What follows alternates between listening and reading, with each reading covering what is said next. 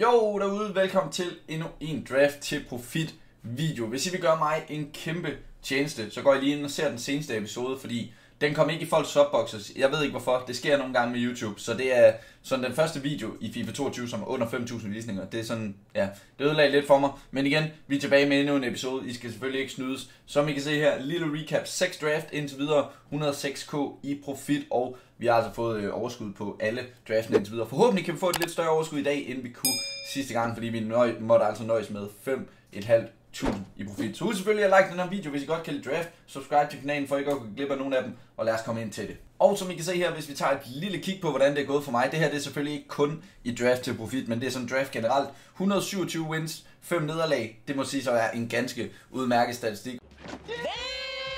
Og som I kan se på coinsene, så har vi altså brug, vi har simpelthen brug for et stort overskud. Vi er på 19.407 øh, coins, og som I kan se, så har vi tre øh, pakker her i forvejen. Øh, det er bare lige sådan, nu viser jeg lige, hvad det er for nogen. De er låste, så vi kan ikke tjene noget på dem alligevel. Øh, så dem åbner jeg altså ikke, dem venter jeg med til en anden video. Men vi skal selvfølgelig ind og spille en draft, og vi har lige præcis råd til en. Øh, ellers så havde jeg faktisk også brugt de sidste coins, hvis det ikke var fordi, jeg skulle lave den her video. Så lad os gøre det. Lad os se, om vi kan få nogle gode spillere. Måske nogle, nye, øh, nogle af de nye rule breakers kunne være nice. 4-4-2 balance, øh, 4-2-3-1. Nå, den er svær at link.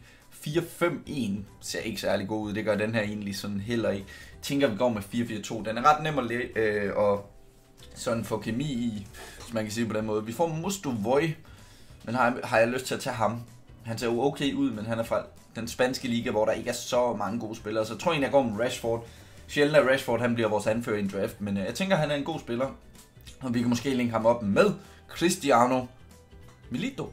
Cristiano Milito. Øhm, skal vi tage Milito? Det er trods alt hero kort, så det tænker jeg, vi gør. Så forhåbentlig en Premier League angriber herover. Og der får vi faktisk Solskær. Øhm, okay, så vi tager Solskær og Milito. Og så går vi med noget Serie A og noget Premier League. Spændende. Øhm, her der får vi ikke noget Serie A, men får til gengæld Leon Bailey, som vi selvfølgelig kan bruge.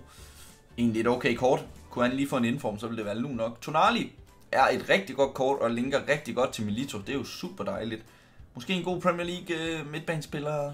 Gibamin, han er faktisk bedre end, øh, end ham den anden, som jeg ikke lige kan huske, hvem var. Chilwell er vores... Mm, ja, jo, Davis er bare meget bedre. Vi har faktisk ikke brug for kemien på Rashford, så man kunne håbe på at få Upamecano.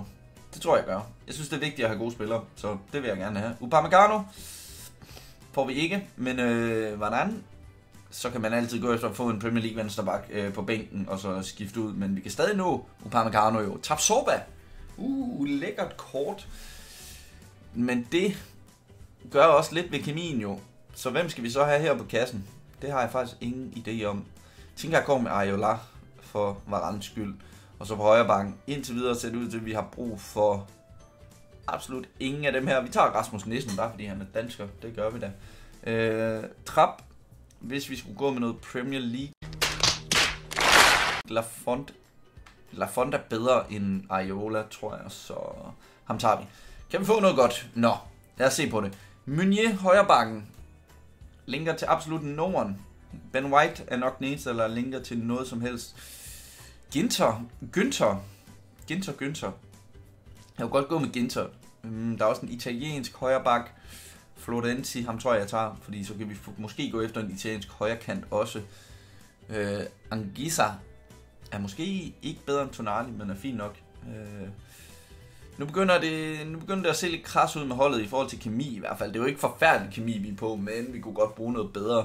Øh, Grealish er ikke i nærheden af at være bedre end Rashford, så jeg tror, vi tager Zaha til bænken.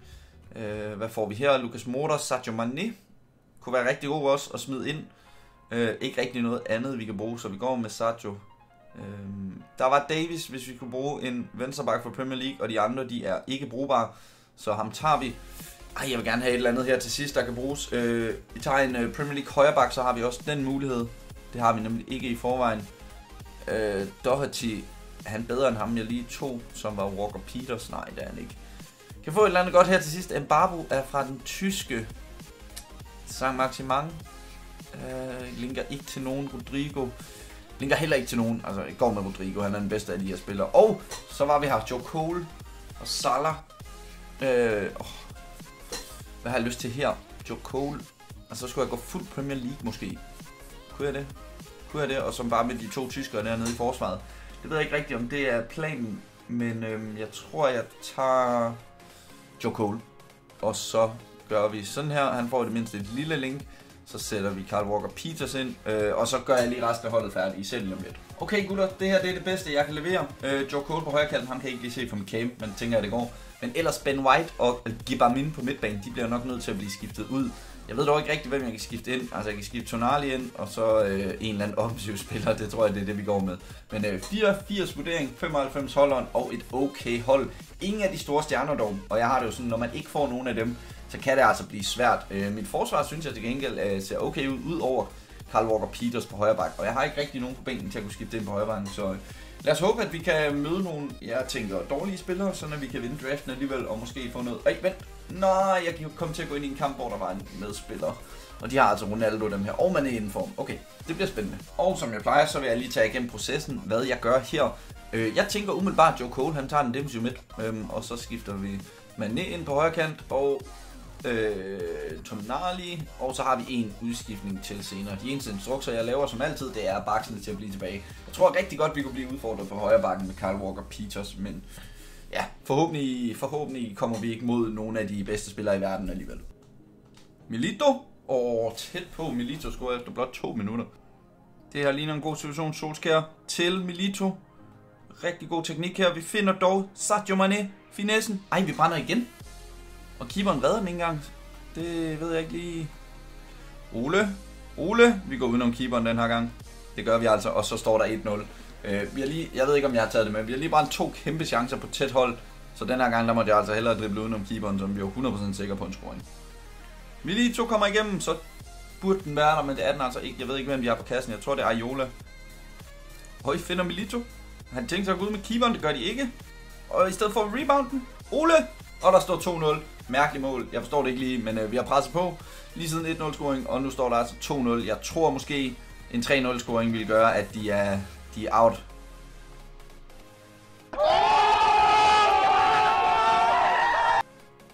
Kongebold Milito, så står der 3-0. Det kunne godt ligne, at Ole han skal være vores øh, bedste spiller i den her draft. Milito og Ole, der simpelthen lige øh, hygger. Det skal lige siges, det var på ingen måde meningen, at jeg skulle lave det der Rainbow Flick. Det var sådan overhovedet ikke der på. Vi lige tog til Ole igen. Altså ikke offside, og Ole chipper den, og så står der altså 4-0. Ole Gunnar Solskjaer, det kan godt være, at han er at the wheel i United, men i min draft, der smadrer han fuldstændig de første to modstandere her. Milito, som også sætter den ind. 5-0, bum. Oplæg fra Joe Cole, de tre heroes, der altså giver den fuldstændig gas. Vi fik ikke nogen rule breakers, men til gengæld så hero-kortene, de barberer fuldstændig derudaf. Endnu en gang her, der er altså ikke særlig meget udfordring tilbage i mine to modstandere. Vi finder Sadio Mane, og så bliver det også 6-0 det må da snart være et rage quit. Eller har de virkelig tænkt sig at spille kampen færdig? Det tror jeg, de har. Og nu er jeg altså lige valgt at tage en beslutning om, at jeg, jeg kommer ikke til at score flere mål i den her kamp, tror jeg. Fordi at, øh, så, så bliver videoen alt for lang. Og lige når jeg sagde det, så valgte de altså at quit. Så 6-0 i første kamp. Lad os komme videre til kamp 2. Kamp 2 modstanderen ser sådan her ud. Åh, oh, han har fået Marco Arnautovic. Jeg ville så gerne have haft det der de nye rulebreaker kort. Det kan være, at jeg optager endnu en af dem her inden, øh, hvad skal man sige, inden på fredag, hvor rulebreakerne udgår. Fordi jeg har en idé om, de også udgår af draft på det tidspunkt. Øh, og jeg vil sindssygt gerne prøve nogle af dem. Gutter, Hvornår er der kommet øh, icons med i draft? Jeg har ikke fået nogen icons endnu. Thierry Henry har min modstander på sit hold. Jeg er inde i en draftkamp, så øh, det, ja, spøjst. Kom nu, lad os nu lige gøre det færdigt. Vi spiller, vi spiller fantastisk. Finder Ole, bum. Ej, keeper igen. Ole, ej, hans målmand er altså den klart største man of the match indtil videre. Fuldstændig vanvittig præstation af hans keeper. Men jeg vil sige, mange af chancerne, der er det også øh, min modstander her, der gør arbejdet, fordi han får ham ud på rigtig gode tidspunkter. Måske her med Lido. Vi forsøger chippet, men den her gang kommer han ikke ud. Altså, jeg er, jeg er komplet forvirret. Det er jo næsten umenneskeligt, at der kan stå 0-0 den kamp her. 3,2 expected goals mod 0 skud. Så kan du til min øh, modstander for at være god med sin keeper, men ikke være så god med øh, nogle af de andre spillere. Så vi prøver igen heller igen, og forhåbentlig kan jeg afgøre den sådan forholdsvis hurtigt. Der går det altså hurtigt. Milito over til Mane, så kan den ikke være. Ja. Jeg kan ikke huske, hvornår jeg sidst oplevede at brænde så mange chancer i samme kamp. Her Tonali, Solskær, rouletten. Eller, ah, det blev aldrig rigtigt til en god chance. Solskær igen dog. Ind af i banen. Jeg bliver taklet. Nej, kunne godt have været lidt mere heldig der, så kunne der altså godt have været dømt et, øh, eller begået et straffespark. Der blev ikke begået et. Så, Ole. Nej, AI-blokket. Det er umenneskeligt det her. Vi prøver et indlæg. Hvorfor ikke? Nej der var han også. Det er altså Ederson på kassen. Det kunne godt være, man skulle prøve ham af. Milito. Han er helt inde i feltet. Men bliver åbenbart nødt til at spille bagud. Jeg kan ikke huske, om han har skills. Kan jeg lave en kroketta? Nej. Finder Tonali. Og det er selvfølgelig Mr. Defensive Midt Tonali, som skal ind og afgøre tingene, fordi jeg kunne ikke bare have gjort det tidligere. Jeg kan ikke huske en kamp, hvor jeg har haft så nemt ved at komme til chancer, og så svært ved at score samtidig.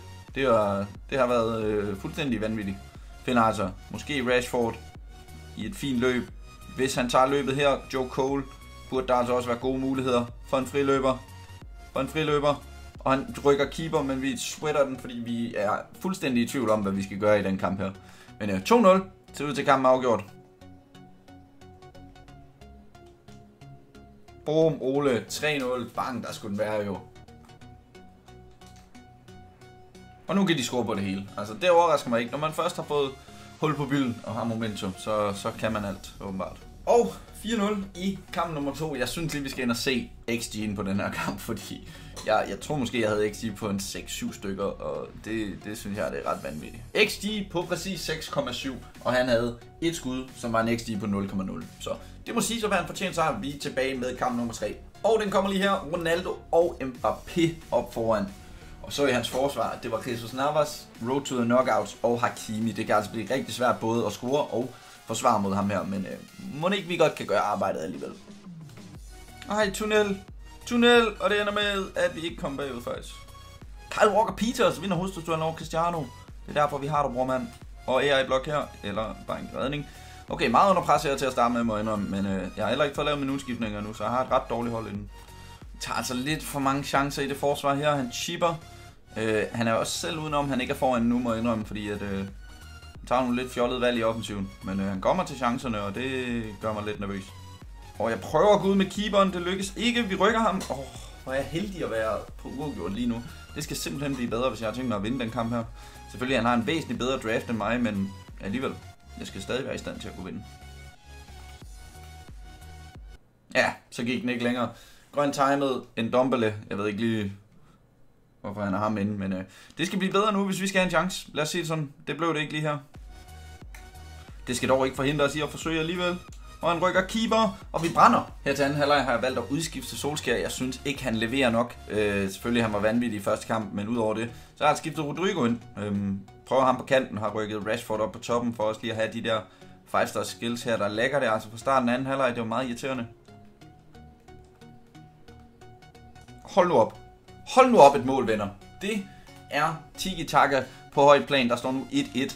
Og ja, synes ikke, det er decideret ufortjent, men øh, han, han kunne godt have scoret nogle flere mål noget tidligere, men øh, ja, jeg synes i forhold til holdforskellen, så, ja, så, burde det, så er det fint nok.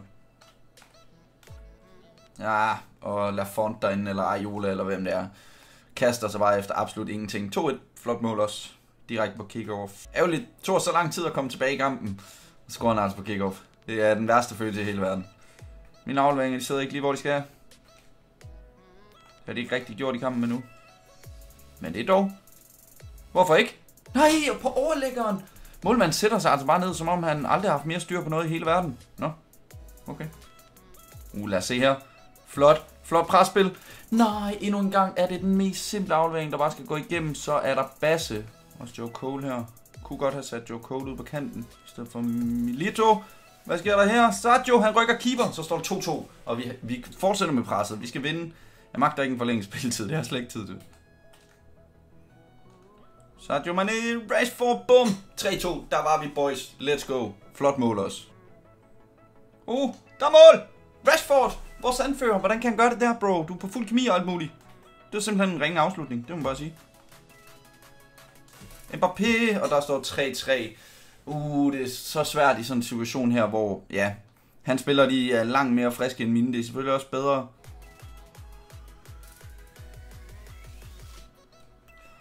Gør det, klodsministeren.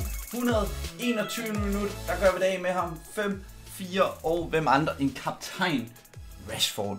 Hvor er det smukt Øh, jeg holdt også bolden til sidst, det må jeg indrømme, for at få det sidste angreb. Jeg gad ikke lige at tabe nu. Men øh, den her video har taget utrolig lang tid at lave. Jeg håber virkelig, vi kan få et race quit i finalen, fordi at, øh, ja, ellers så ved jeg ikke rigtigt, om jeg har tid til at få den redigeret i dag også, men det kan I jo være ligeglade med. Og så finder vi endelig finalen modstanderen, Swish, Swash, jeg ved ikke, hvad navnet var, men øh, og jeg så faktisk heller ikke holdet. Det må jeg undskylde. Og Messi scorer simpelthen derfra.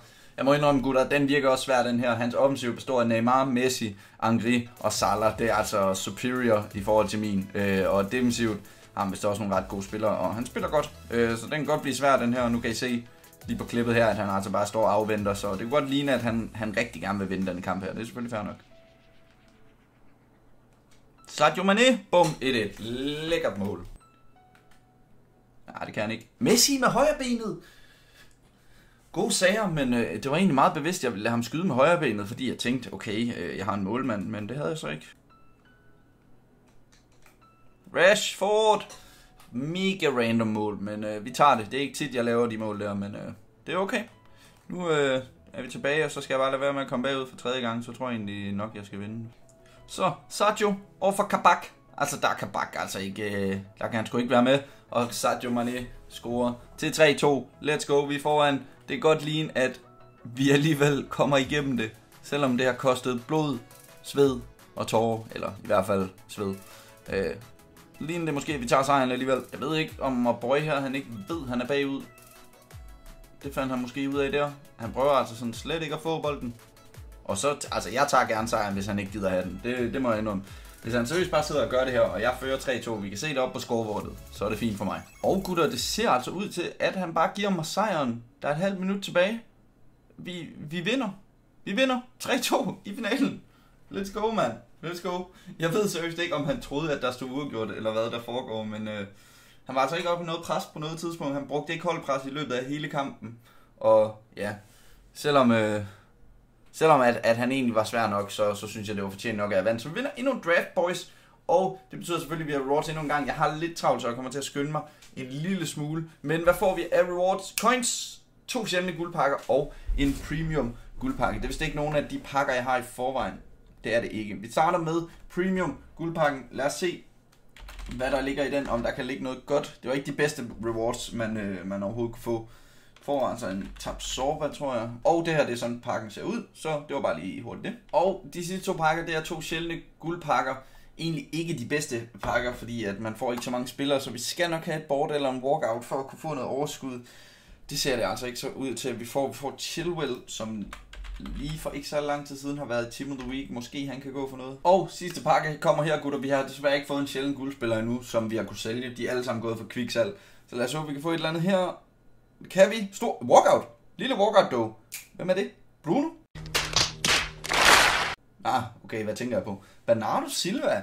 Okay, så vi er sikret for overskud. Det er jeg rigtig glad for, fordi jeg var ved at begynde at blive nervøs for, at vi ikke ville få overskud.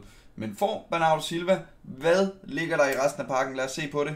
Gary Potter og en masse ting, der ikke er så gode. Bernardo Silva er dog manden, der gør, at vi rent faktisk går i overskud. Han solgte. Øh, Buffarini her går for 1400. Ved ikke lige, hvorfor Gary Potter fik jeg solgt for 1000. Og så var der selvfølgelig alle de her position change kort, kontrakter, alt sådan noget der, der også solgt.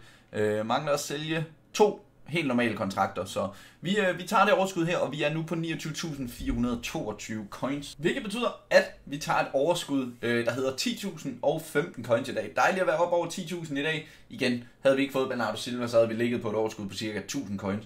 Så det her med, at hverken rare spillere eller non-rare spillere sælger lige nu, i hvert fald ikke så mange af dem, det gør altså, at der er okay stor chance for, at vi snart rammer ind i en episode, hvor vi måske ikke får overskud. Men vi tager overskud 116.000 i det hele, og jeg håber, at I kunne lide endnu en draft til profitvideo. Jeg elsker i hvert fald at lave dem. Jeg synes, draft er mega sjovt i år, og der kommer snart til at ske nogle virkelig spændende ting. Så hvis I glæder jer til det, smid et like, subscribe til kanalen, hvis I er ny, og ellers så ses vi altså bare i næste video.